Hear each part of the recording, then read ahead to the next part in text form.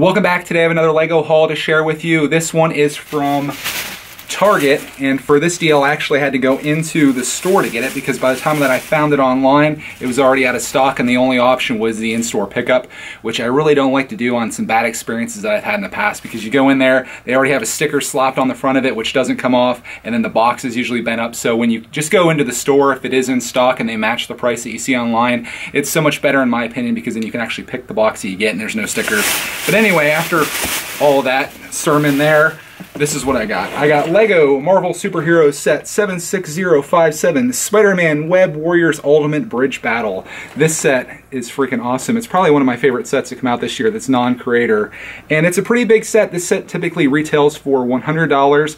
Ended up picking this up for $80. And the, the cool story about this is that I initially went on to Amazon.com to buy this because they were matching Target's price. And since I'm a huge Amazon fan and I'm a Prime member, I thought I'll just get it there. I put this in my cart, had some other stuff in my cart, and I was kind of mulling it over because it was going to be like almost $200 for all the stuff that I wanted to get. And it was all Lego stuff. And I'm still thinking about doing the rest of this haul but I kind of held off. And then later on that night, I was like, you know what? I think I'm just going to buy that. Went on there, couldn't buy this set. So I went back to Target.com where they were originally selling this for $80 versus the $100 price tag that it typically is.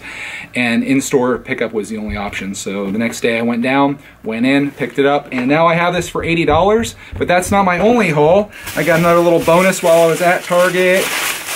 This one's not nearly as impressive uh, in scale, but still a good set nonetheless. This is the uh, Captain America's Motorcycle Lego Marvel Superhero Set 30447. This is $3.49. So altogether, 83 bucks. Got all this stuff. So the cool thing is I can add the, the Captain America to this set and I got Captain America on a motorcycle along with all these Spider-Mans and all of the other cool stuff that this set is comprised of. And I've seen some really cool videos on this set. I've seen alternate builds from some people that have done some, and I think I'm gonna have a lot of fun with this. So I just wanted to share this quick haul with you.